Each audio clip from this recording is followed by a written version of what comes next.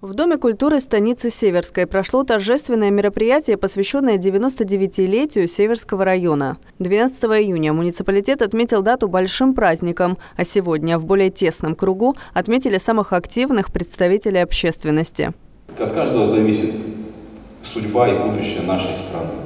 И я искренне благодарен вам за то, что вы, каждый находясь на своем месте, кто раньше работал, кто сейчас работает, выполняли и выполняете свой долг, работаете и искренне, искренне вкладываете душу и сердце в развитие Северского района. Спасибо вам большое. Трое жителей района удостоены звания почетного гражданина. Одна из них – Галина Чубенко, ветеран труда и заслуженный работник сельского хозяйства Кубани. Многие годы женщина проработала за техником. Благодарственные письма главы муниципального образования Северский район получили представители разных сфер. Главы крестьянско-фермерских хозяйств, учителя, казаки, ветеринары, пожарные, индивидуальные предприниматели, представители СМИ. Эти люди своим ежедневным трудом и личными достижениями внесли весомый вклад в развитие и процветание Северского района.